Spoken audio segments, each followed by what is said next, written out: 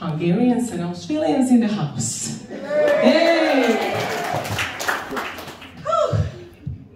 All right, let me introduce you to each other real quick, okay? So please, Hungarians, put your hands up in the air. Let me see you, all Hungarians. One, two, three, four. Very good. and Australians, please raise your hands. Oh, amazing. Wow. Everybody can look at each other. Now, everybody, put your hands up. Everyone, everyone. Now wave to each other. Yeah. Sweet. Very good. Thank you very much. So uh, I would like to say just a few words in my language, okay? Drága magyarok, sziasztok, hol vagytok? Hallottok? Igen. Mondjátok, hogy juhú! Ó, te jók Szuper! Nagyon-nagyon szépen köszönöm a megtisztelő és szerető érdeklődést. Köszönöm szépen, hogy eljöttetek. Nem gyűrűt vettem fel a este, hanem egy raktapaszt. Szép, ugye? Szeretném megköszönni Cár Lacinak, aki az ötletgazdája volt ennek a koncertnek. Lacikám, nem tudom, hogy hol vagy, mert nem látok semmit a fenétől. Itt van, itt van! Köszönöm, és Anna Nélinek a csatasorba állított asztalokat a fantasztikus díszítéssel.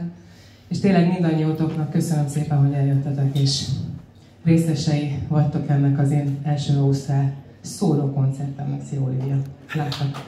Köszönöm szépen. Australians, look at board. Right? Okay. So, uh, this concert is a milestone for me because this is my very, very first solo concert here in this beautiful continent here in Australia. And I'm so happy I can be here with you. Thank you very much. So you don't have to do anything else, just sit back, listen to the music, enjoy, right? Here's the next one. Next one.